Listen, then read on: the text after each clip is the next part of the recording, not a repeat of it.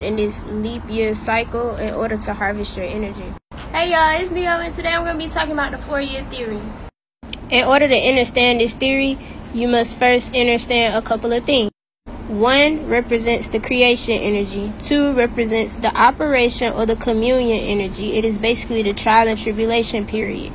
Three represents destruction or the renewal cycle. This is where we are supposed to jump from here to here. Instead, we have to go through this what we call renewal and rebirth period, which stem from the change to the Gregorian calendar, giving us this right here creation, operation, destruction, and then our renewal cycle should not be a whole nother cycle by itself. This creates a box.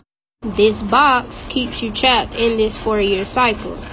This is the cycle that we should be operating off of. A cycle that starts with the creation of an energy, the operation of an energy, and another creation of an energy based off of this energy right here, which leads you to a whole nother energy.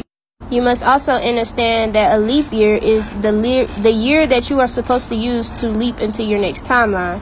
Time is circular, not linear, and time is speeding up as advancements are made.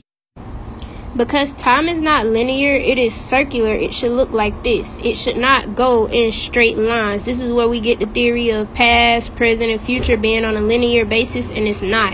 It's a continuation of a cycle because it's all one energy. So now you understand that time does not exist. This is why it's easy for them to shift calendars and remove seconds. Did y'all hear that they're trying to remove seconds?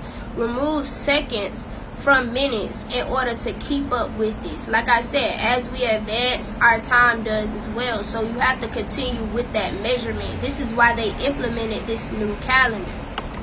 Also, think about the fact that all of your major elections happen on a four-year cycle.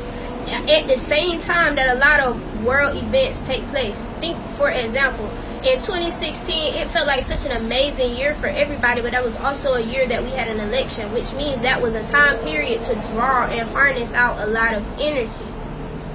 Think about in 2020. We all know what happened in 2020. I don't think I need to explain that. 2024 is another year like that. It's the year for you to jump and shift your timeline, but because you've been thrown all of these distractions, it doesn't make it easy for you to do so.